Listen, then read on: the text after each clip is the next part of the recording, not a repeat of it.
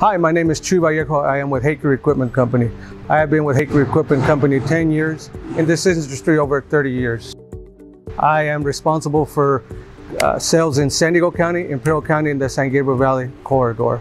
Um, today, I'm going to show you what sets the Elgin Broom Bear apart from everyone else. First and foremost, you have to start by the user interface. The controls the operator have access to means a lot.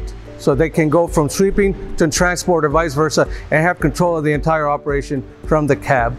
Secondly, the quality that goes into the Elgin Broom Bear means a lot. You want a, a piece of equipment that's gonna grow with you and hang in there with you and not have to replace every so often.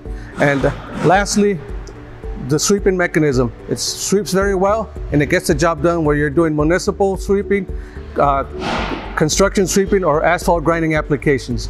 If you'd like to discuss this product more, whether it's a demonstration, used, or rental equipment, please give me a call at the number below.